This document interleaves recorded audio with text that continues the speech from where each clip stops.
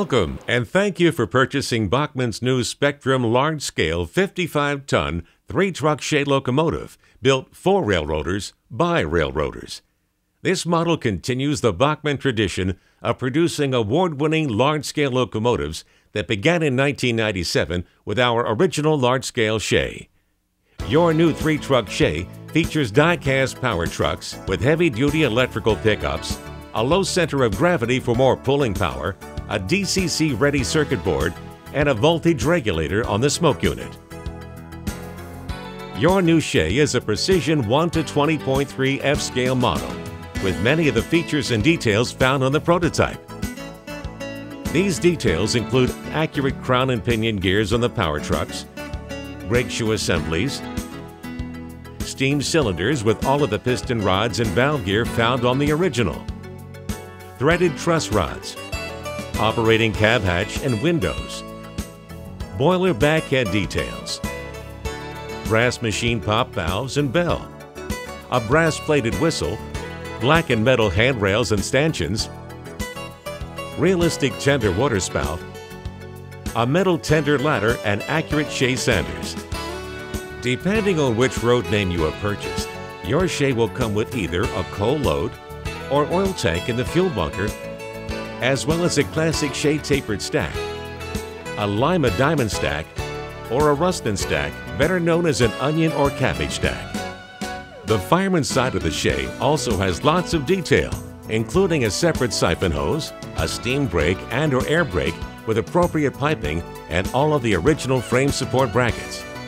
We work from prototype locomotives and actual drawings to painstakingly produce an accurately detailed model of this geared logging locomotive.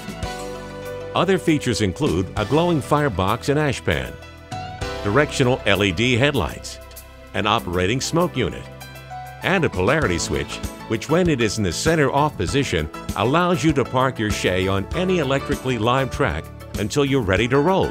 Slide the switch to one side or the other to run your Shay to either NMRA NEM standards or large-scale practices.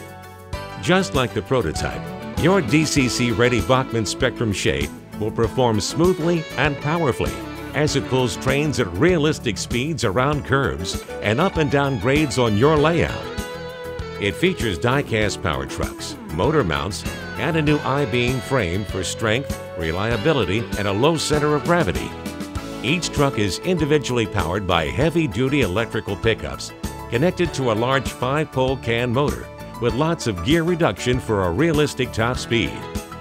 There are two ball bearing races per axle for an all-wheel drive system that generates power to all 12 wheels.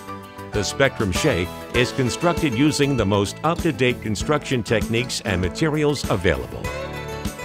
And to accommodate large-scale modelers with all sizes of layout, Bachmann has installed a unique third truck drawbar that will allow your new Shay to negotiate even the tightest of curves.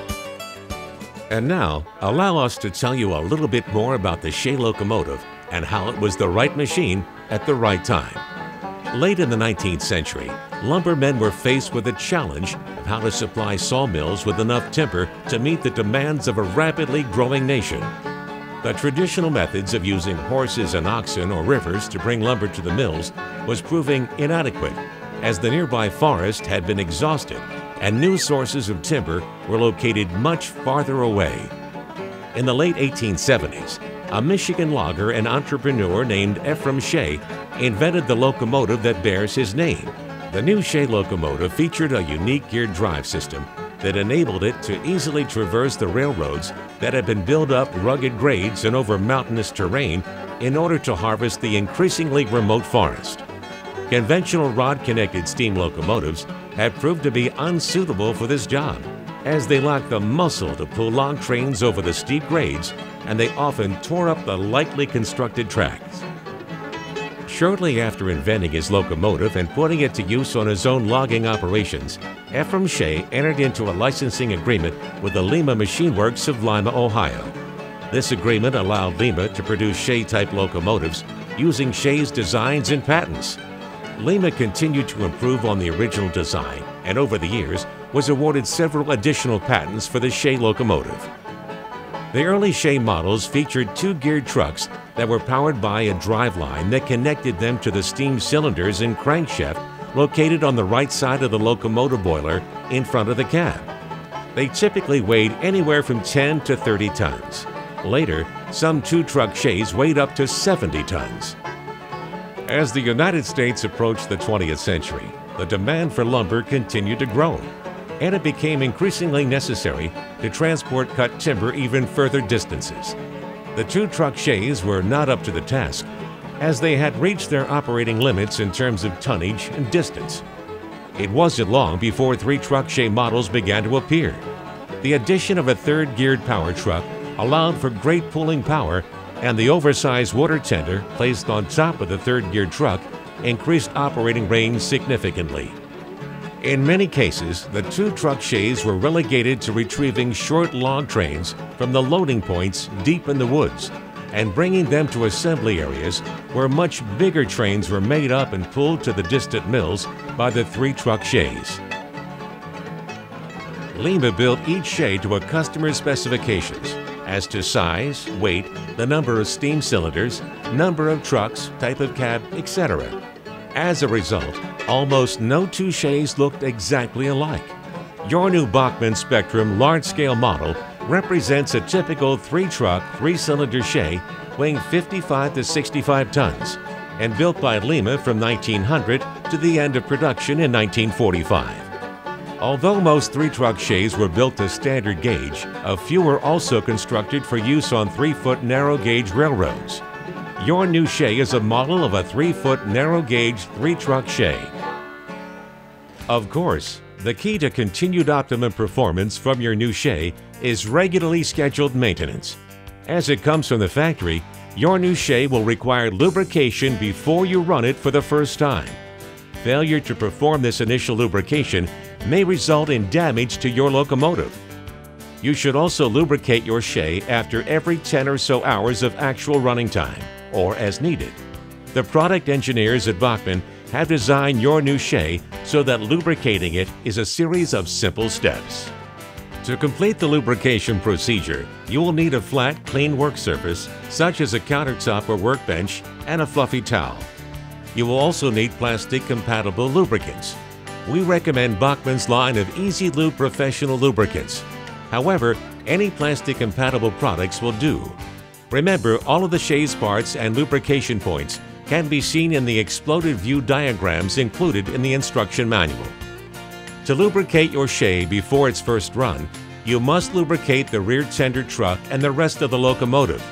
To do this, reach under the ends of the locomotive frame and gently lay the locomotive on the towel on its side so that the cylinders are facing up towards the ceiling. Next, turn the rear tender truck on its side on the towel. Now that you have everything in position for lubrication, please notice the lubrication plugs on the bottom of the power truck covers. You will now need to remove these plugs. You should not remove the bottom truck cover plates for any reason. All necessary lubrication can be completed through the lubrication ports in the cover plates. To remove the plugs, gently pry up one edge with either a flat-bladed screwdriver or your fingernail. Grasp the raised edge and gently pull the plug from the hole. Follow the same procedure for each plug. We will now work on these areas, the front truck, the center cylinders, the truck just behind the cab and under the fuel bunker, and the truck under the rear water bunker, and the complete drive line. First, take your light gear oil and lubricate all of the cylinder's moving parts. These include all of the rivets, piston rods, valve rods, and valve guides. Put a single drop of oil on each of the bearing surfaces. You do not want to overdo it, so only put a drop on each part. Over lubrication can be just as damaging as no lubrication, so use the oil sparingly. Next, we will use the heavy-duty gear oil to lubricate the rest of the drive system. Start by putting a drop of oil on each of the crown and pinion gears. Also, be sure to put a drop of oil where the line shaft enters the journal boxes on the front and rear, both inside and outside of the gear cover. Then put a touch of oil on the drive axles where they exit the metal power truck housing. Be sure to do both axles on both sides of the motor housing. Remember to lubricate the other two power trucks using the same procedures. Now, put a drop of heavy gear oil on each of the exposed surfaces on the crankshaft located just below the cylinders. It is from this point that all power to the cylinders is applied. Once again, a drop or two at each point is adequate.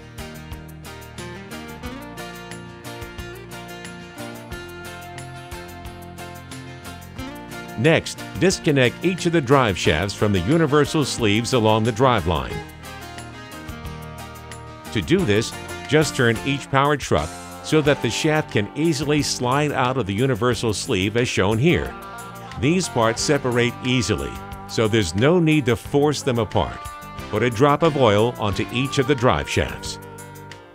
Now, it's time to work through the lubrication ports on the bottom cover of each power truck. First, using your Easy Lube heavy duty gear oil, put a drop of oil on the motor drive shaft where it exits the motor housing.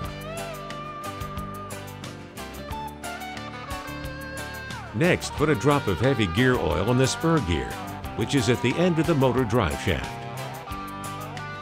Now, put a drop of oil on the primary gear on the drive axle. Also put a drop of oil on the ends of the drive axle where the ball bearing races are located and the axle exits the power truck housing. Be sure to perform this procedure through the lubrication ports on both ends of the power truck. Next, lubricate the power truck bearing surface where it connects to the frame. Once again, be sure to follow the same procedures on each of the other power trucks. For the next segment, we will use Bachmann's Easy Lube gear grease. This lubricant won't sling off or dissipate at high running temperatures. The best method to apply this material is by using a thin wooden applicator like this. If you don't have one available, then a toothpick, coffee stirrer, or even the tip of your screwdriver will suffice. First, lubricate the exposed crown gear using a moderate amount of grease. After running the locomotive for a few minutes, the grease will be distributed throughout the crown and pinion gears. Follow this process for both the front and rear trucks.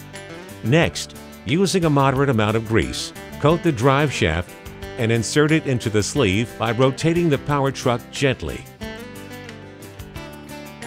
Work the shaft in and out. Remove any excess grease.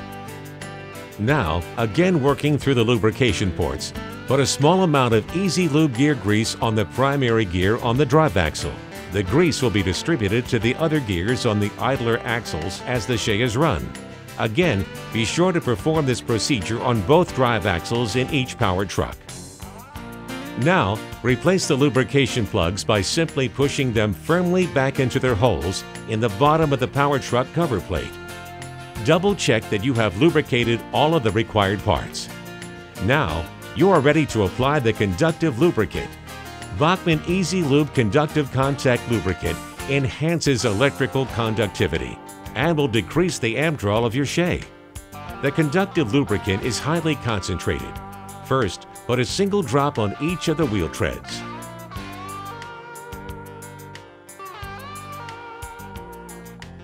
Next, put a drop of conductive lubricant on the back of each wheel.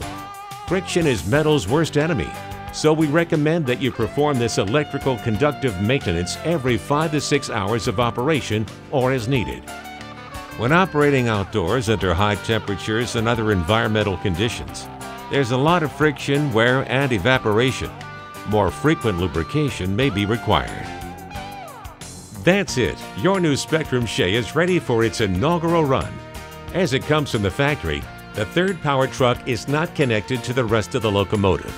Here's how you hook them together. First, put the locomotive on the track.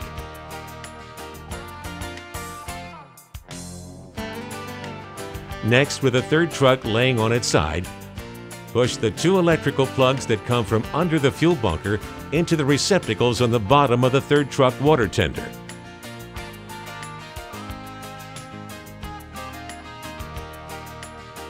Now turn the water tender power truck upright and connect the drive line into the universal from the second power truck.